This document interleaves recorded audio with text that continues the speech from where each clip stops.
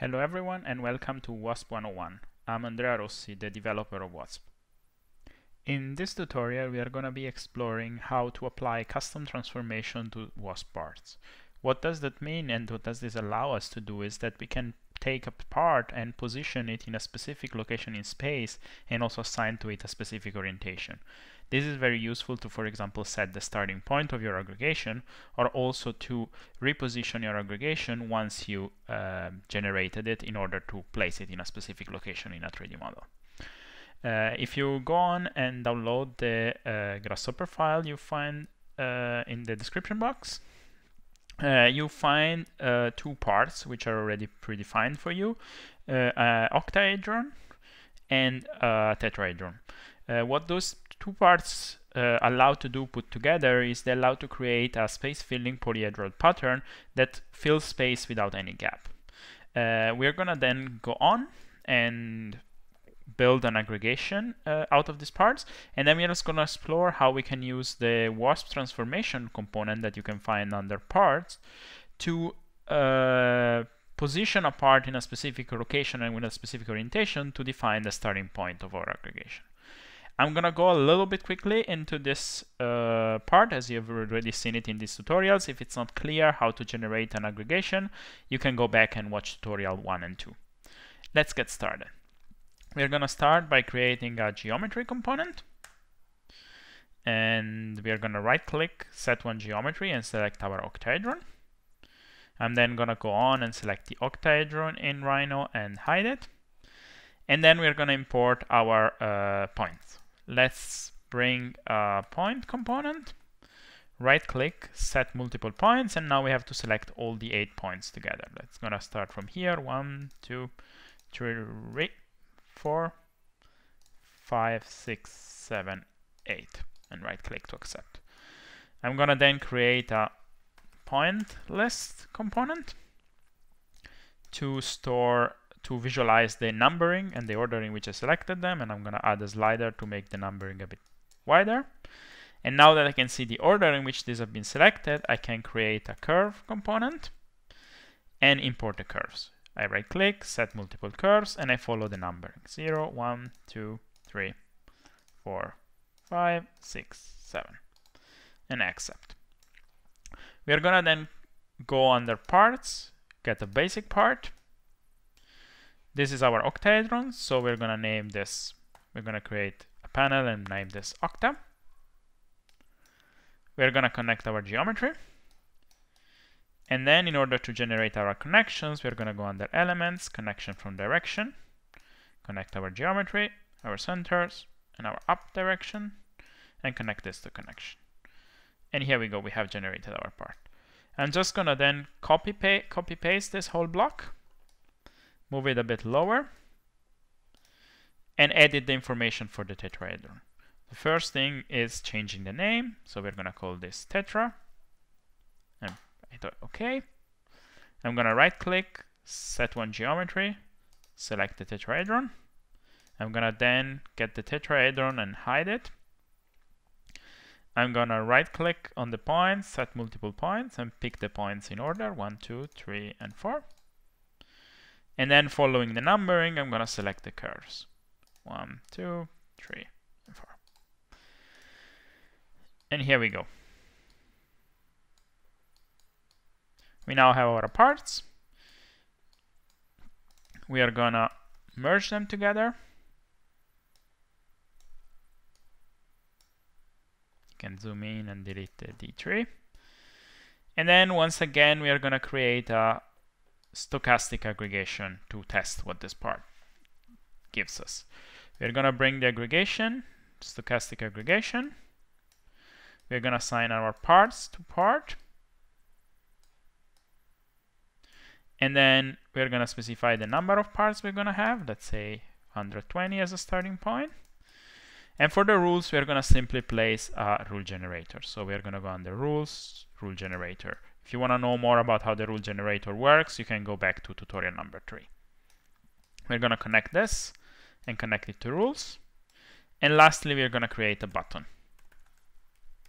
to reset, which we're going to connect to our reset component. Great, we have our output and now all we need to do is we need to separate our two parts into um, the octahedron and tetrahedron and then visualize them. As we saw in uh, tutorial number two, we can do that by going to parts, filter parts by name. We plug our parts and then in name we just add a panel saying octa. In this case for the octa. And then we're gonna place a wasp get part geometry component to extract the geometry. And here we see our octahedron and lastly we're gonna create a custom preview component to which we're gonna attach a swatch. And we're gonna choose a color.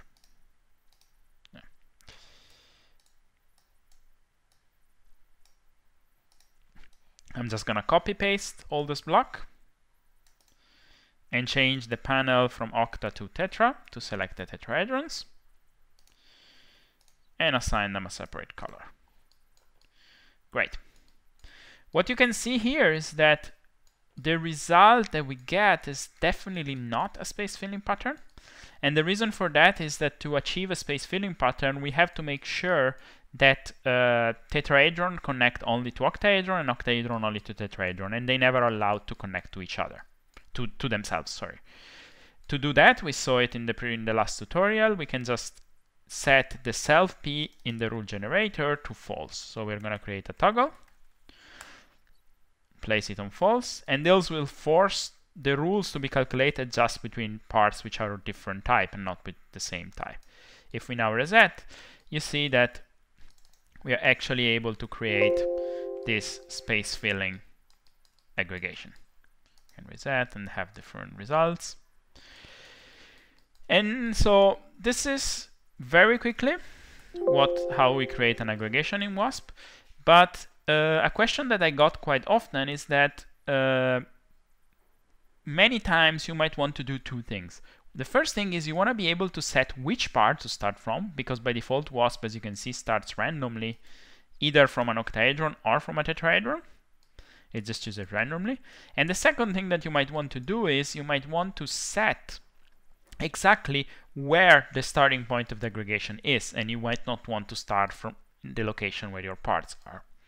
Uh, in order to do that, uh, I provide provides a very handy component that is called the transform part component.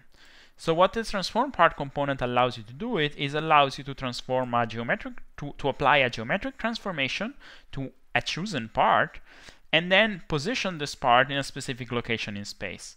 What we can then do is we can use the prev input of the uh, aggregation component, which allows you to set parts in the to add parts in the aggregation, which will be added before starting the aggregation itself, and in this way decide where is the starting point of our aggregation. How do we do that? Let's start by going back and hiding for a second our whole aggregation. And then we come back and we want to decide which part we want to start with. Let's say, for example, that I want to start with uh, an octahedron. What I'm going to do is I'm going to create, go to under parts and create a transform part component. And I'm going to connect my octahedron to it. And then once that's done, we have to assign a transformation to this. How do we assign a transformation? It's quite simple. If we go under the Transform tab of Rhino, all the transformation components of Rhino, let's for example bring in a move component, they all have two outputs. They have one which is the transform geometry, and then they have the X output that is the actual transformation that has been applied to the object to transform it in the position we want. So for example, what we can very simply do is, let's move it a bit lower, is I can apply a shift on the x-axis. So I create a x-axis to my part. Let's suppose that I want to move it off 50 units. And now I don't have to connect anything to the geometry tab, but you see, and see, and so I've got anything in the geometry because nothing has been transformed. But you see that I actually get an output in X and I get the transformation object. If I apply the transformation object to our part, our part gets transformed. Of course, you cannot see that because you are not seeing the part geometry. But if we go back to the WASP tab and we go to part, get part geometry, and we connect this to part, we see that we created a part that has been shifted in space of 50 units. I could shift it a bit more. But then if I will connect this part to the previous input and reset, if I visualize the final output, you see that our aggregation has actually started from that part. I can reset as many times as I want, and this, the aggregation will always start from an octahedron and will always start from that octahedron. Now, what if you don't want to just move this octahedron, but you also want to change its orientation? Let's hide our aggregation once again. And so if we want to rotate this octahedron, we can go again in the transform tab. And under Euclidean, I'm going to get a rotate 3D, for example.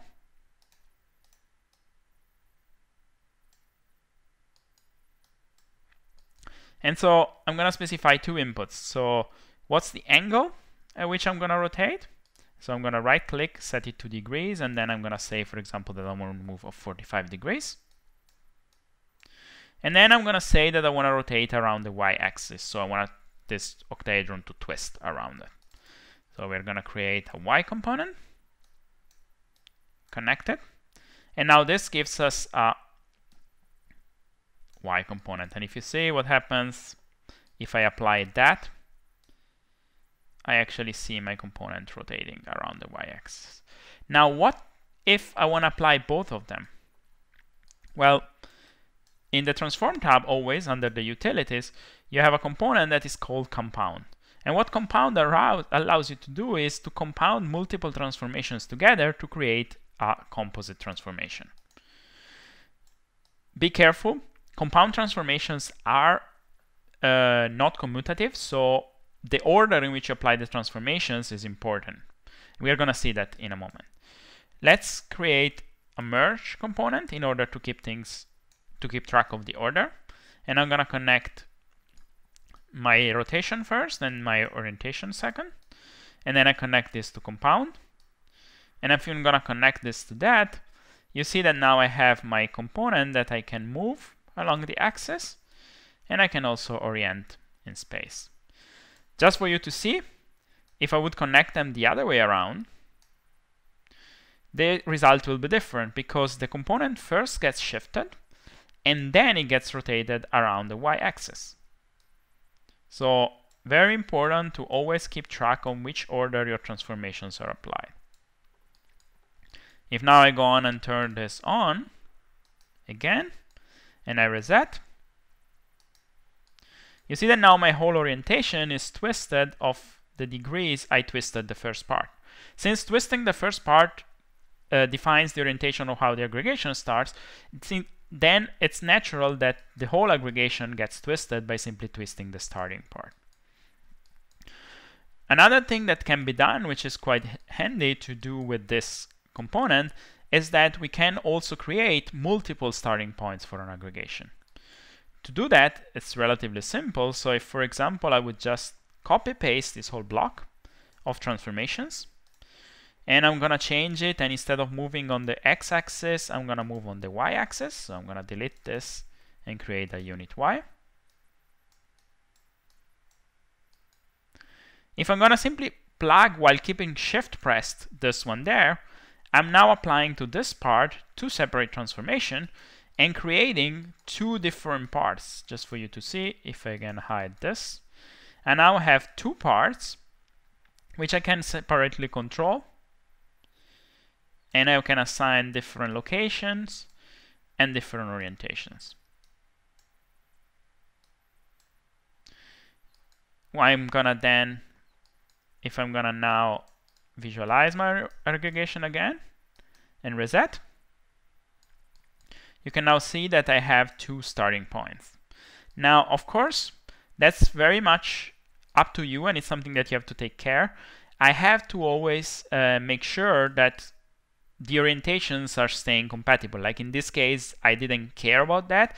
And these two aggregations, they are the same aggregation, so I have one single aggregation object, but it's geometrically impossible for them to actually connect because the orientations that they're following are not the same.